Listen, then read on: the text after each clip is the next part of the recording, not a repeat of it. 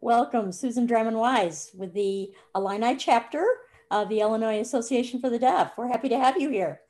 Give us a little overview, Susan, of, of what you do with the chapter. okay, hello everyone. The Illini chapter is a nonprofit organization.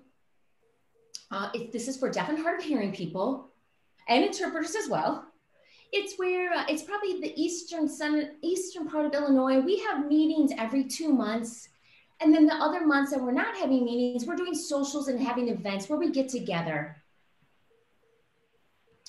We uh, have referrals that we refer information if anybody, um, some, somebody needs to take a sign language class or if they're looking for where the deaf children are. So we kind of give some information and referrals.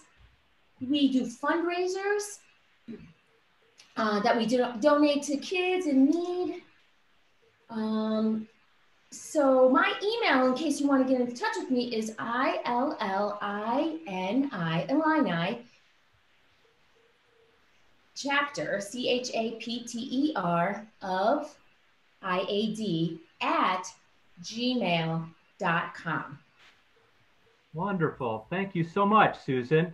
We really appreciate you being here and providing this wonderful information.